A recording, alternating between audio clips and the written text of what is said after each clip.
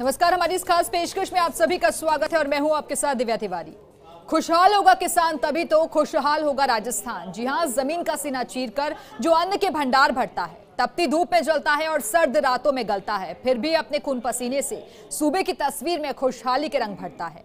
First India प्रदेश के हर ऐसे किसान को सलाम करता है, लेकिन क्या सूबे के हर किसान को उसका मुकम्मल हक मिल रहा है?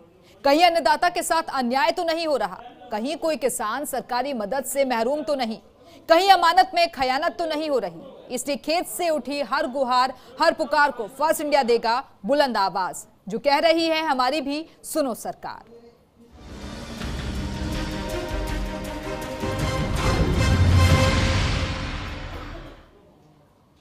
बेहतर सेहत बनाना और उसे बरकरार रखना हर किसी का लक्ष्य होता है। और इसके लिए हम क्या कुछ नहीं करते। सुबह जल्दी उठते हैं जिम जाते हैं हेल्दी खाते हैं जूस पीते हैं, हरी सब्ज़ियाँ खाते हैं। लेकिन क्या आप जानते हैं कि जिस सेहत को बनाने के लिए आप सब्ज़ियाँ खाते हैं, वो सब्ज़ियाँ ही आपको बीमार बना रही हैं।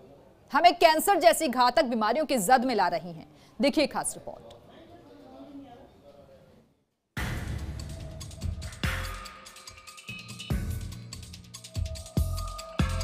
अगर आप स्वादिष्ट सब्जियों के शौकीन हैं तो ये खबर आपके लिए है।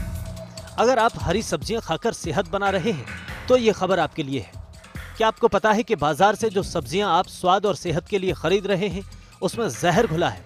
जी हाँ ये हम नहीं, बल्कि खुद कृषि वैज्ञानिक कह रहे हैं।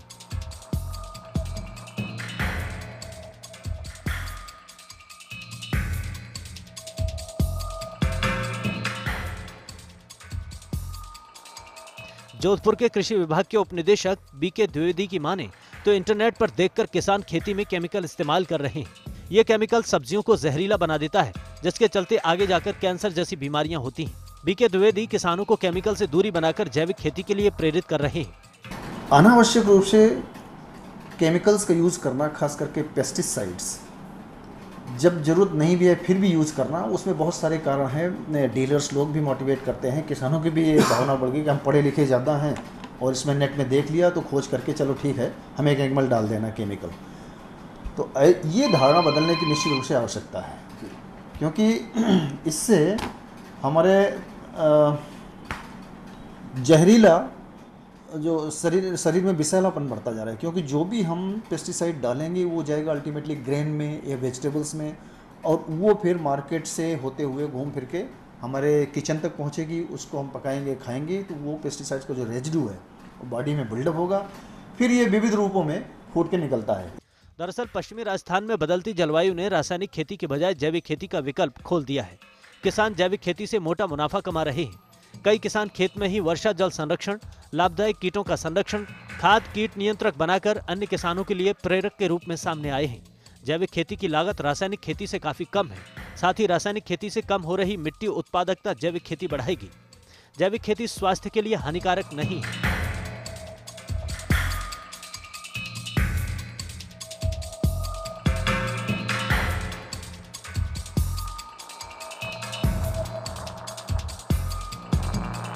आपने गौर किया होगा, एक कैंसर ट्रेन आजकल चल रही है।